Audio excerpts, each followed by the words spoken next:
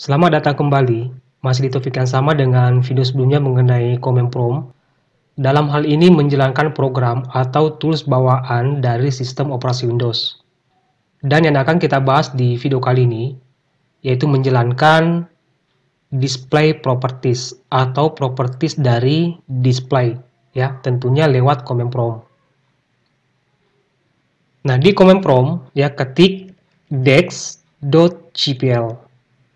Ini untuk menjalankan uh, display properties.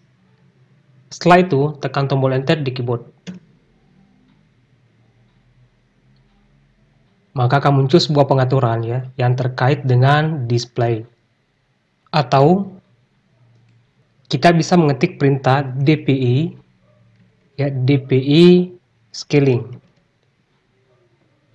Setelah itu tekan tombol enter di keyboard.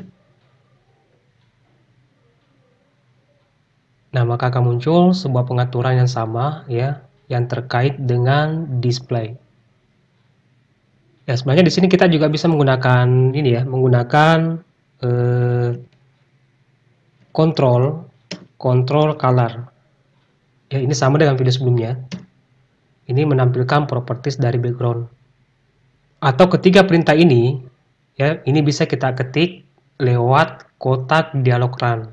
Ini saya close Nah, di keyboard, tekan dan tahan tombol logo Windows, kemudian tekan tombol R pada keyboard. Nah, di sini, teman-teman bisa ketik perintah dex, lalu .cpl, kemudian klik tombol OK.